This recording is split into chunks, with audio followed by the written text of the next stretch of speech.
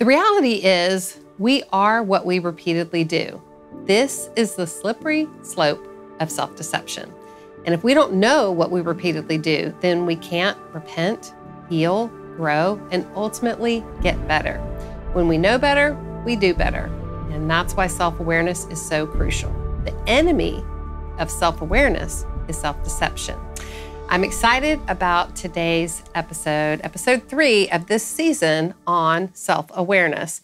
Joel, I know you have a lot to say about this. Yeah, I sure do. Um, I think that idea of self deception um, is so challenging because self deception shows up in different ways for each of us. There is an overt aspect of self deception that we can easily point out in other people. You know, we would be like, ooh, you have been deceiving yourself in all these different ways. But there's a covert nature of self deception. And so I'm really excited to share and talk about both of those. But before we get there, I'm going to turn, Lysa, to your favorite place in all of Scripture. And where might that be? Genesis. That's right. We're going to go to Genesis, but our path to Genesis is actually going to be a passage that you shared in the previous episode, James chapter 1. Um, and let's start here, James chapter 1 in verse 14. Each person is tempted, notice the language, each person is tempted when he is drawn away and enticed by his own evil desire.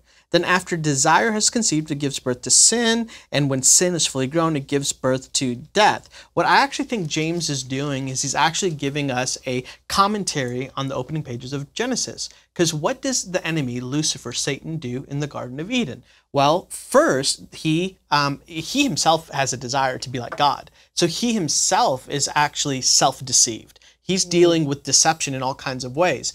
And the natural tendency of a person who is self deceived and is, de- is deceptive in their own nature is to be deceptive with others. So then catch this the enemy himself is self deceived. And then he goes into Eden and he actually tempts through deception Adam and Eve in order to, hey, you probably want to eat this fruit because you want to be like God. Mm-hmm. And then Adam and Eve are self deceived. And in their own deception, they actually deceive themselves and eat of the fruit because they actually have competing ambitions, competing desires. And when they take of that fruit, what happens? Sin. And sin gives birth to death. And Lysa, you've talked about this often that in that moment, you're like, wait a minute, they didn't instantly die right? Mm-hmm. Like they mm-hmm. ate of the fruit and they didn't instantly die.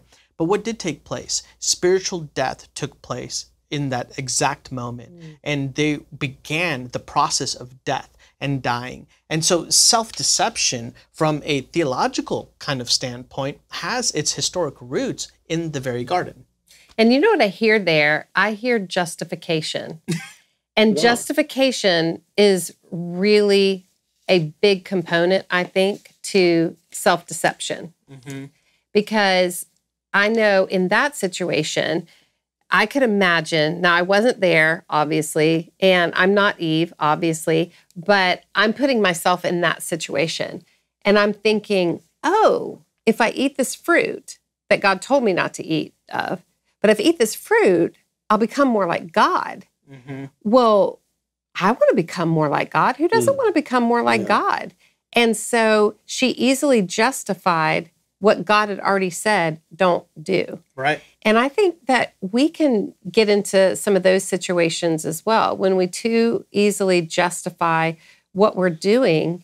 And I think that justification can lead to that self deception. For example, I know this is wrong for everyone else, but it's okay for me because mm-hmm. look at all I've been through, mm-hmm. right? Mm-hmm. Or um, this might be, you know, really um, something that would hurt somebody else, but I'm okay doing this because X, Y, Z. Mm. And I think, or like, it's wrong for other people to take this, but I'm justified in taking this because I have X, Y, and Z. Yeah. Or yeah. I need X, Y, and Z, you know? Yeah. So good. And so I think we have to watch. In the last episode, we talked about motivation. And so I, I just think we need to, in this episode, pay a little bit of attention to justification. Mm-hmm. Because if we can easily justify something, that is such a big part of deceiving ourselves and then becoming less and less and less aware that we are justifying things we shouldn't justify. And a third word, real quickly, and I'll tell you, this is the really the main word I use. It's used in addictions work and just in getting out of self deception to self awareness, and that is rationalization, thinking mm-hmm. of that rational brain. when the brain, it is justifying, all those things are true, but when I rationalize it and I say, this makes sense, or this would be something I could do, it, it kicks it up a little more even than justifying, but my brain rationally will say, okay, let's walk down this path. I've rationalized it, made it rational to me. Then it's really hard to come out of self deception and get back into self awareness. Mm, so good. That's great. And I think that with self deception, we, I mean, I think about deception often as uh, other people deceiving me, right? Mm-hmm. So, like, it's coming from the outside towards me. But the self deception part is about the internal reality of how we're participating in this type of belief system that is incongruent. It's not accurate, it is false. Um, Paul is not uh, unfamiliar with this. And actually, uh, Jim, you referenced this in the last episode. It is uh, Romans 7:15. So look at this what Paul says. For I do not understand what I'm doing because I do not practice. If you're circling or highlighting or kind of paying attention to this, you want to circle and highlight that word practice because I do not practice what I want to do but I mm-hmm. do what I hate. That Greek word for practice is prasso. It means to get beyond or to press on through or to execute. And literally, what Paul is saying is he's adding to, like, okay, self deception, how does this happen? Well, we participate in self deception when we put our practice on the wrong thing. That's good. We actually practice yeah. deceiving ourselves instead of practicing the things that we ought to do the mm. things that are going to bring clarity to our lives the things that are going to the things that are going to lead us into a path of truth not a, a path of deception and and i think the the background for even this is galatians chapter 5 so it's like what are just from a very practical standpoint what are the things that are self self deceptive that lead us into a path of deception? Well, we're going to notice each of these episodes are kind of building on each other. And so when it comes to self deception, uh, Paul in Galatians chapter 5, he, he makes this comparison between the fruit of the Spirit and the vices of the flesh. So the vices of the flesh are act are the things that we do that are self-deceptive that par- partner with our self-deception. So look at verse 19 now the works of the flesh are obvious. Again insane lists. Sexual immorality moral impurity pr- promiscuity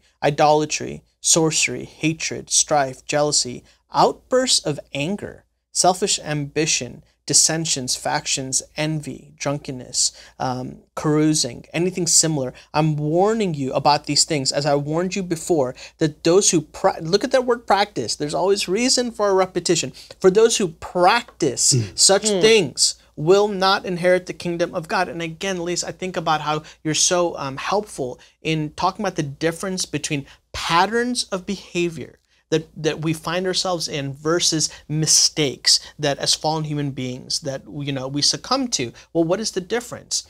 Patterns are things that we actually are practicing. Yep. It's that we're participating, that we're being intentional around. Because we become what we repeatedly do. Mm-hmm. Absolutely. Absolutely. And then there's this comparison and there's this juxtaposition to um, the, the things of the flesh, the vices of the flesh versus the fruit of the Spirit. Notice how it flips, right? What is the fruit of the Spirit? It's love, it's joy, it's peace, it's patience, it's kindness, it's goodness, it's faithfulness, it's gentleness, it's self control. So it's not crazy anger, it's, it's actually being controlled. And notice this it's not that you don't have anger. Right. It's not that yeah. you don't experience these things. Mm-hmm. No, it's actually that through the power of the Holy Spirit, you're able to bridle those emotions and those anger uh, and that anger and submit it to God. The law is not against such things. Now, those who belong to Christ Jesus have crucified the flesh with its passions and desires. And then here's 25. Again, we're building. If we live by the Spirit, let us also keep in step with the Spirit.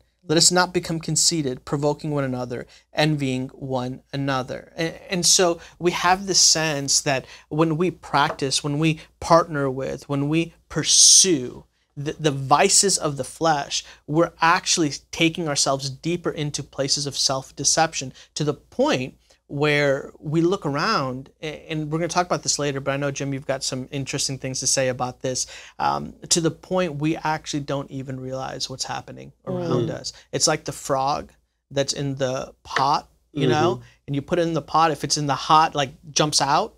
True. But if you turn that heat up slowly over time, that, that frog is just like, oh, this is great. This environment's awesome. And then until it's burnt alive. And that's what self deception will do to you over a prolonged period of time. Hmm. I like what you said that we keep in step with the Spirit because that is a healthy, godly practice. It's like, I'm going to step and then I'm going to step again and I'm going to Mhm. step again. And it's all going to be in alignment with what honors God, loves people, and helps me become who ultimately I want to become and I should Mhm. become. And, and God is enabling me to become if I will keep in step, in alignment with the way that I should go. Yeah. So interesting. Jim, what do you have to say about this? Well, I think the idea of taking the covert and making it overt, uh, God's word will help us with that. I a big thing I think around on the very practical level around self deception is have a group of people, even if it's two or three. I've taught often about having a personal board of directors. That means you name six seats, three seats, however many you can, of people who will tell you the truth. Mm. And that's called doing a 360 where someone can look around you and do it periodically and say, What am I missing? Here's what I say my goals are, and I'm not reaching out to them. Or, Where do you see me? Sometimes a good spouse, if you're married, can help you with that. Where do you see me not being my best self? Or, where have I done anything in this relationship that is what we call malfeasance? We want, as therapists, non malfeasance, do no harm. Where have I done anything that uh, has been harmful to you? Said something, did something. I didn't follow through on what I said I would do. And again, be curious, not furious there, but to have some people who can speak into your life, not yes men or yes women, who would say, Well, thank you. And yeah, here's Jimbo what we see. Joel, here's something I see going on in your life. And these are people who have their own words seasoned with, with salt, with grace. And they have a vision for me to be the best me I could be. I just don't want to do this alone. I love that. And that's one of the reasons why I put together this free resource that we'll put a link in the show notes. What's it like to do life with me? I love how you called them the the people a, a personal board of directors Yeah. because I think you're right. I think I love the questions you said. Um, what am I missing, and where do you see me not being my best self? And this assessment will really help with that.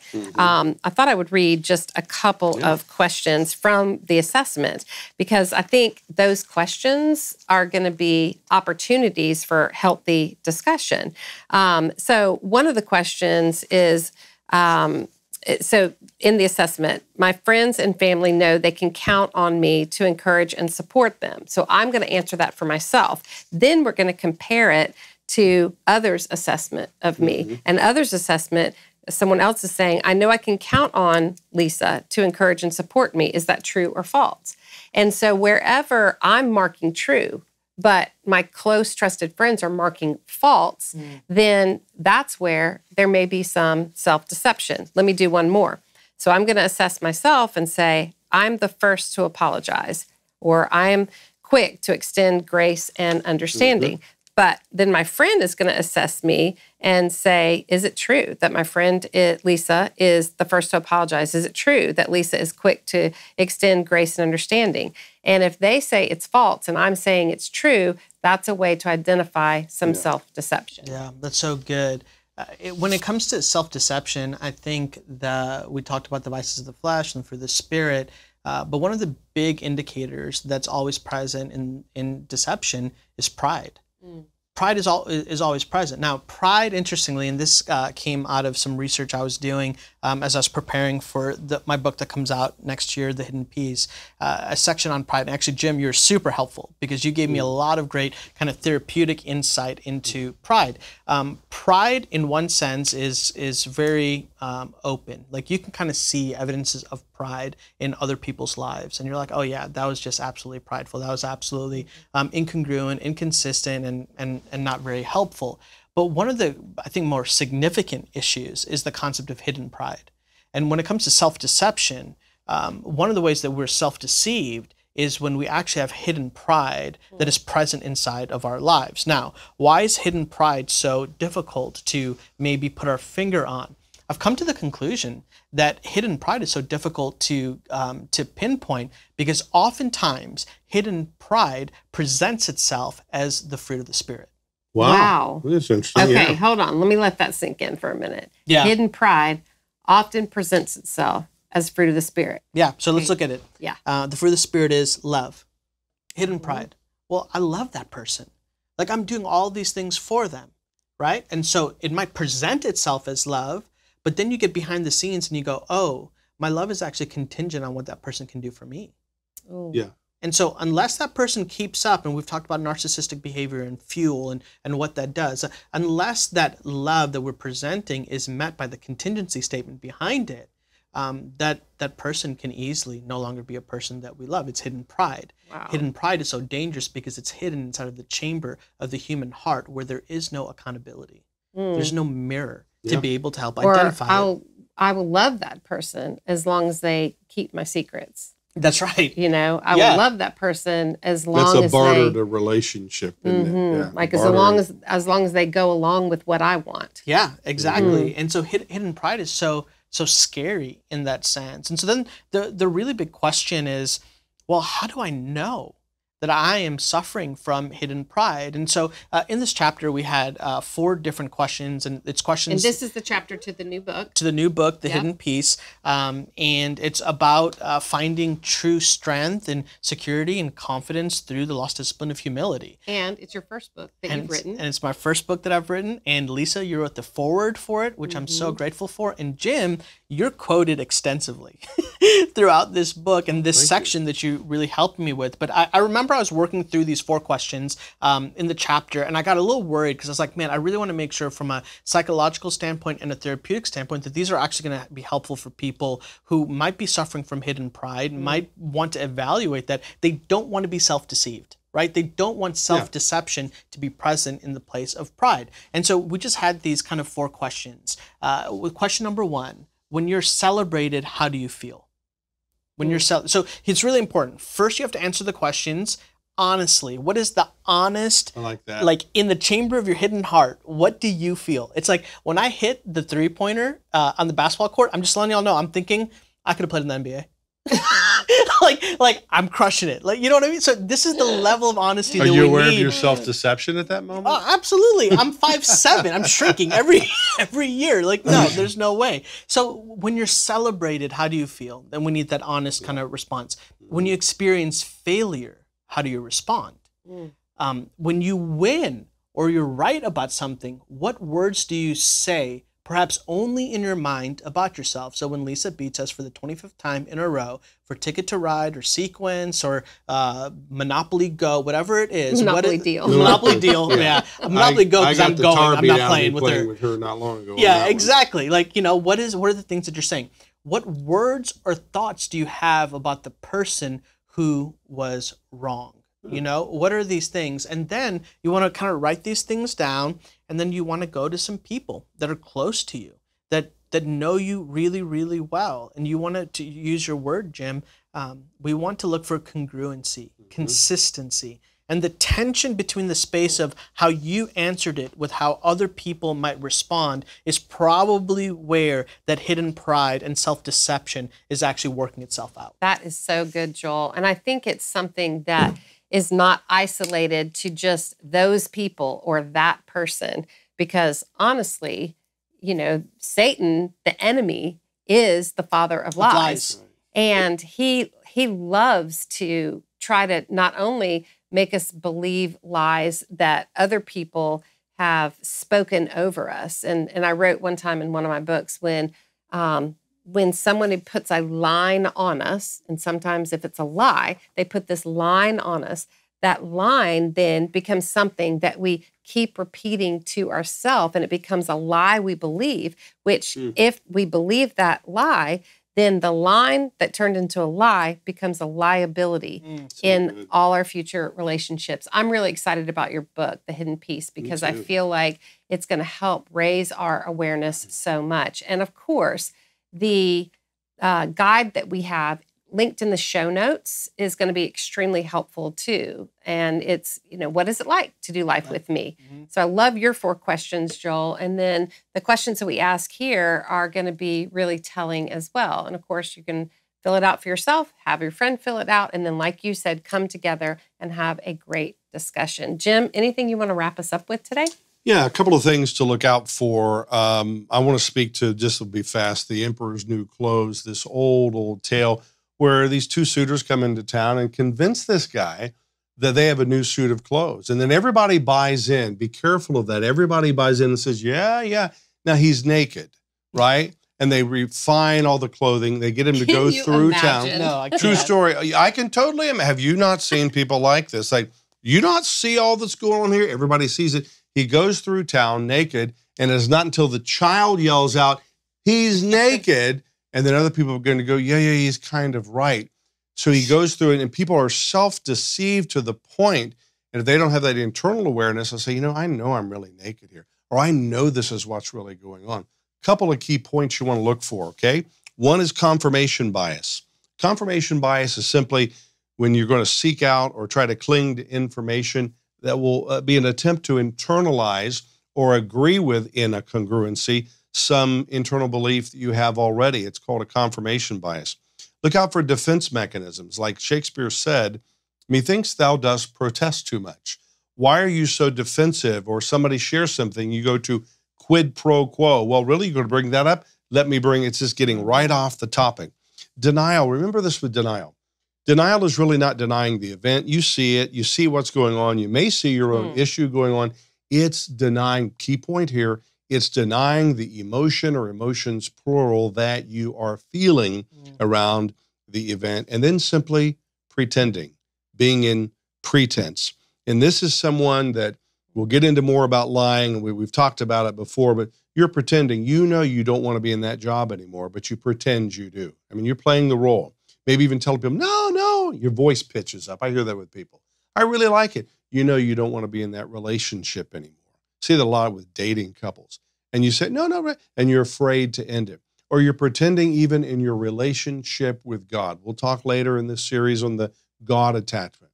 And God already knows your heart, and you're pretending that no, no, things are really cool and all like that, and like things aren't really cool. So pretending.